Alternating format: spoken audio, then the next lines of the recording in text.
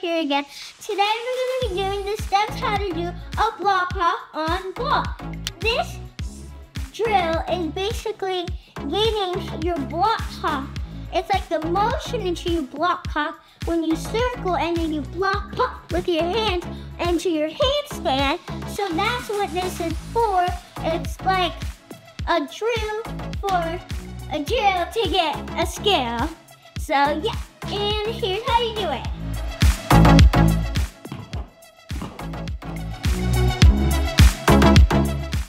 guys so much for watching this video. Make sure to like and subscribe.